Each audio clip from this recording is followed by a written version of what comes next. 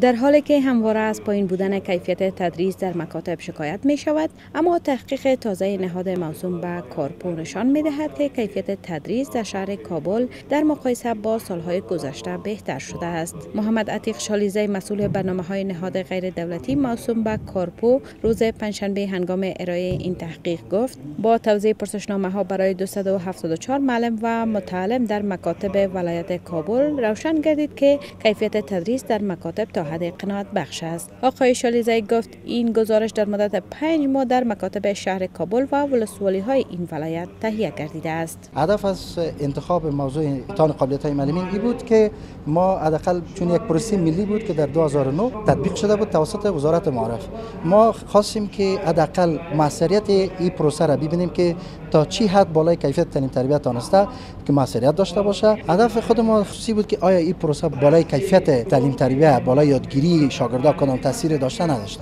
خب نتیجه ازی تا حد مثبت بود. تا حد تانسته که بالای کیفیت موثر باشه اثرات خاص خود داشته باشه. آقای شالیزی همچنان گفت در جریان 13 سال گذشته معارف کشور از لحاظ کمیت رشد چشمگیر داشته اما از نظر کیفی هنوز نیز میاری نشده است. بر اساس گزارش ها پروسه امتحان قابلیت های معلمین در سال 2009 از سوی وزارت معارف را اندازی کردید و گفته می شود که تا سال 2012 میلادی حدود 180 هزار معلم در سراسر کشور در این پروسه اشتراک کردند. در این حال مقامات ریاست معارف شهر کابل از تهیه این گزارش استقبال کردن می‌گویند که این تحقیق بالای کیفیت تدریس در مکاتب تاثیرگذار می باشد سید منصور رئیس معارف شهر کابل بان که کیفیت تدریس در مکاتب را قناعت بخش نمی داند اما می‌گوید که تلاش ها برای بهترسازی کیفیت تدریس در مکاتب ادامه دارد. البته تحقیق صورت گرفته بود از طرف مؤسسه کارپو تحقیق بسیار دقیقی بوده. با مکاتبی که تحقیق صورت گرفته بود